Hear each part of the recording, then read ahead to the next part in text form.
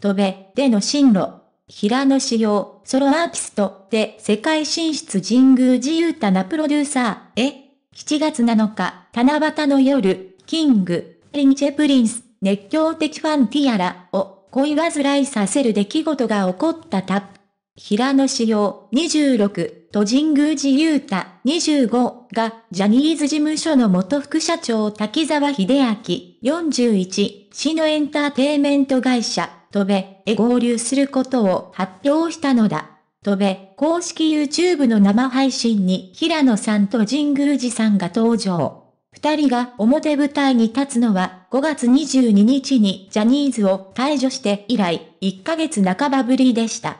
二人でユニットを組むことも考えられますが、ソロ活動がメインになります。とべに国内の仕事やファンクラブ運営などをバックアップしてもらい、その他の仕事は自分たちで獲得するようです。テレビ局関係者。昨年11月の脱退発表の際、平野はジャニーズを辞める背景に海外への強い思いがあったことを明かしていた。今後も世界進出を視野に入れていくようだ。ヒップホップ系のダンスに重点を置いたソロアーティストとして活動するそうです。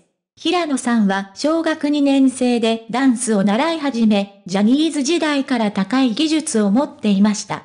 チャンスがあれば俳優業にも挑戦すると思いますが、音楽活動がメインになるでしょう。レコード会社関係者。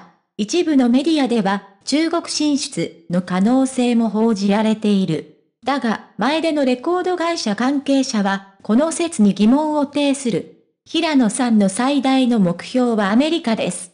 ジャニーズ JR 時代、彼は亡くなったジャニー北川さん、去年87に連れられて、ラスベガスのショーを見学したことがありました。生前、ジャニーさんは自分のタレントをアメリカのステージに立たせようとしており、平野さんは恩師の思いに共感していたんです。実際、キンプリとしてデビュー後の19年には、平野さんが発案して5人でアメリカに渡り、世界的なヒップホップダンサーからレッスンを受けていましたからね。前でレコード会社関係者。アメリカで自分の夢、恩師の夢を叶えたい。平野の脳裏には、そんな考えが思い浮かんでいるのかもしれない。海外志向の強い平野に、大使神宮寺は一時期ファンの間で引退説が囁かれた。昨年の脱退発表時、平野と岸優太27は海外への思いを口にしていたが、神宮寺はこの先何をしたいかなど明言しなかったからだ。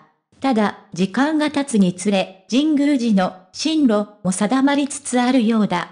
芸能プロ関係者は舞台俳優の可能性を指摘する。21年に舞台で主演を務めて、以降舞台関係者の間でも神宮寺さんの演技力を評価する人は多いです。劇団星新幹線に所属し舞台を中心に活躍する橋本淳59さんもその一人。神宮寺さんとは昨年のドラマ、受付の女、日本テレビ系で共演して依頼仲が良く定期的に連絡を取っています。橋本さんが推薦して神宮寺さんが舞台出演というパターンも期待できますよ。金プリで培った高いダンスの技術と歌唱力そして演技力。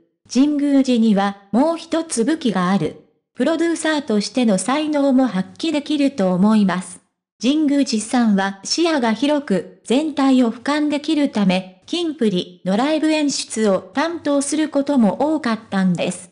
平野さんや、これから、戸べに所属するアーティストのコンサートの演出を手掛けることもできますよ。前で芸能プロ関係者。平野と神宮寺は新たな一歩を踏み出した。それぞれの強みを活かし、代表曲のように気がつきやトップ独走できるか。大変お世話になりました。最新の情報をスムーズに受け取るために、ぜひチャンネル登録をお願いします。心から感謝しています。ありがとうございました。